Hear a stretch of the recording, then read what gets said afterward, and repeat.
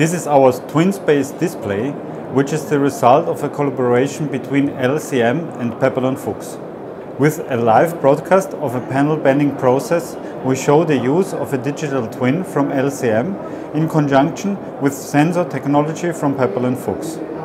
And we show how, together, they bring Industry 4.0 to life.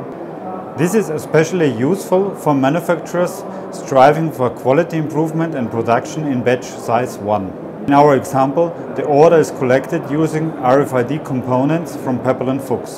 The production order is transferred into a cloud via a Neoception solution and the manufacturing process begins at Salvagnini.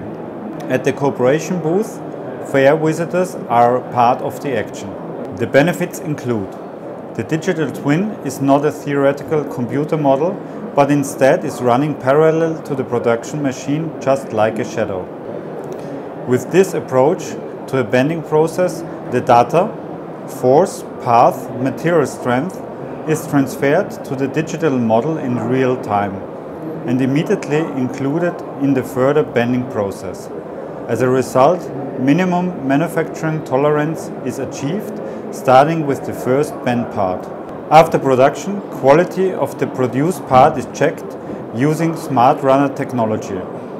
Fair visitors receive their banded parts after the fair.